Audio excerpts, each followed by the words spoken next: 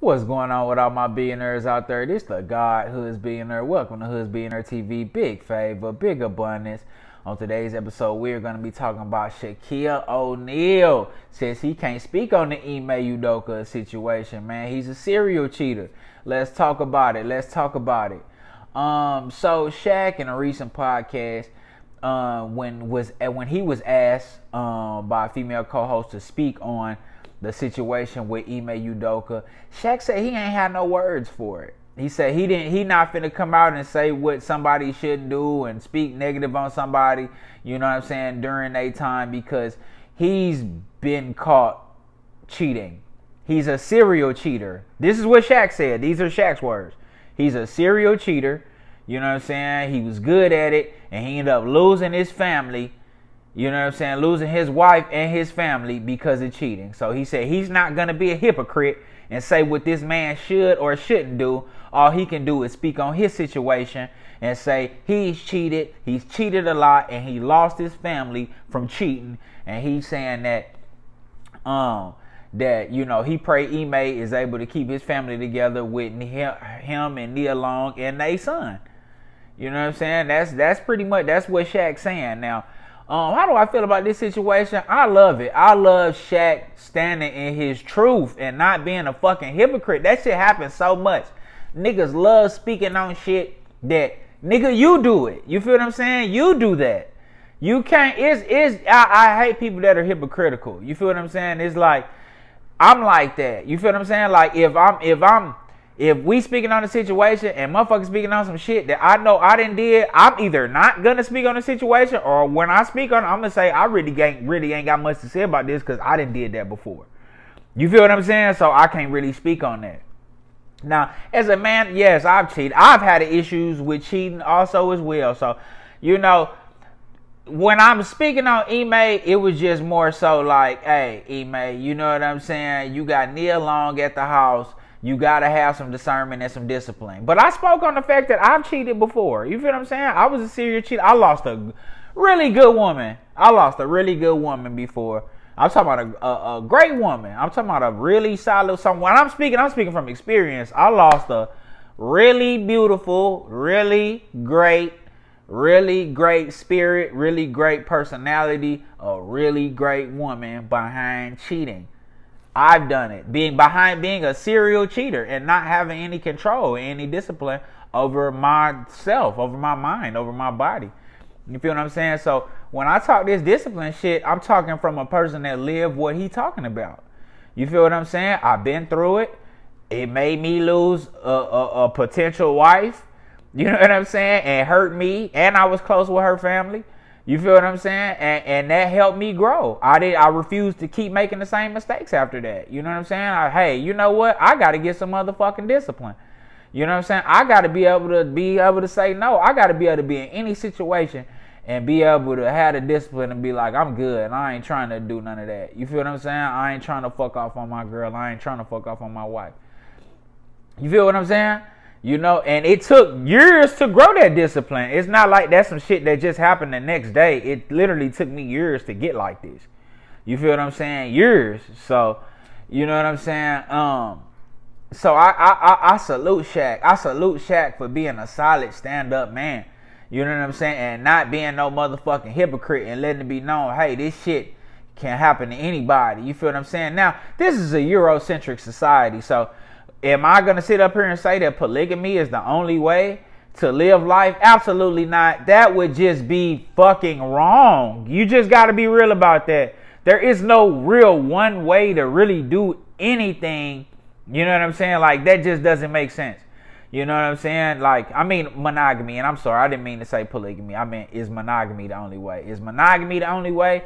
Absolutely not. You feel what I'm saying? Monog- being in a monogamous relationship Shit, King Solomon had hella wives. You know what I'm saying? That's in the Bible. You know what I'm saying? King David had hella wives and concubines. Motherfuckers was that's been and eh, if we gonna go past the Bible because I'm just using that as a, a reference point because in this Eurocentric, you know, um, uh, America, America is very Eurocentric and has a lot of Western ideologies. Just based on that, obviously polygamy was something that even the people in the Bible practice. You feel what I'm saying? That's all I'm saying about that. Now, Um, uh, like I said, it just depends on the person. You feel what I'm saying? If you're a monogamous person, y'all go check out my red pill, blue pill video. If you're a monogamous person, if that's in your spirit where I just really only want to deal with one woman, then just deal with one woman.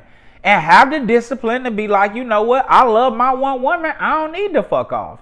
You know what I'm saying? And if she really a winner, she'll bring another woman. You feel what I'm saying? If she if she really if she really a winner and she really saying, you know what, this man has has has put upon me the responsibility of taking care of his sex drive.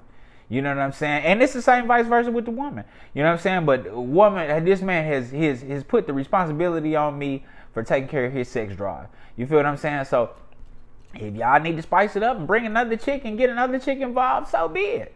You know what I'm saying? Once again, there's no one right way to do anything. You know what I'm saying? Whether you polygamous and you want to be with multiple women, if that's what you want to be, then be that. Just have the mind and spirit for it. You know what I'm saying? And the patience for it. Because you it's it's like really being in a relationship with two different human beings.